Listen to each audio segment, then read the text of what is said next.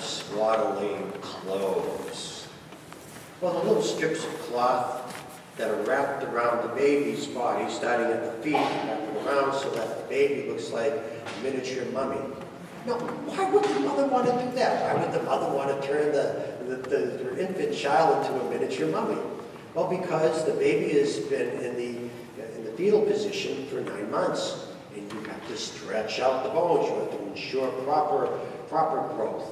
So by stretching out the bones for a few hours, this is the way that the ancients used to do it, is to wrap in special swaddling clothes. Now here's the problem. Now if you put the baby down on the table, the baby is in the shape of a rolling pin, it's going to roll right off the table. So, so you got to secure the baby in some kind of a place, and that, that would be the, the cow dish.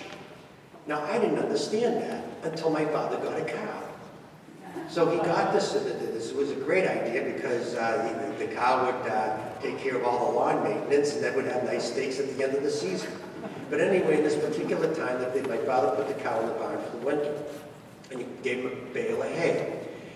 And he left the cow with the hay. When he goes back, my father sees the cow lying on the floor looking at my father and the hay was all spewed all over the place. Have you ever seen a cow eat hay? They do is they take their whole head and put it into the hay and go, and the hay goes flying all over the place. So to prevent that mess from ever happening again, my father built a cow dish so that only the lips of the cow could get in there just to eat a little bit at a time so we wouldn't make the big mess.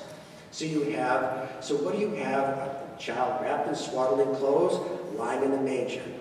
You have something very, very ordinary. There is nothing extraordinary about the scene. So let me retell the story. So the angels of the, of the Lord appeared to the philosophers, and they said to the philosophers, Go, Bethlehem, you will see the Savior wrapped in swaddling clothes and lying in a manger. So the philosophers went and they saw the child wrapped in swaddling clothes and lying in the manger, and they said, It's impossible. It's metaphysically impossible for God to be a child. He's the Alpha, the Omega. There's no beginning and no end. It's impossible that this could be the Christ. And then they walked away. So then the angels appeared to the scientists, and the scientists uh, went to see and behold the child wrapped in swaddling clothes and lying in a manger. And then the scientists ended up saying, says, this is, it's impossible. It's biologically impossible for a virgin to have that child. This, this is what we call a myth and they walked away. So then the angels appeared to the social workers, and the social workers came and they saw the child wrapped in swaddling clothes and lying in the manger. And the social workers said, it's impossible.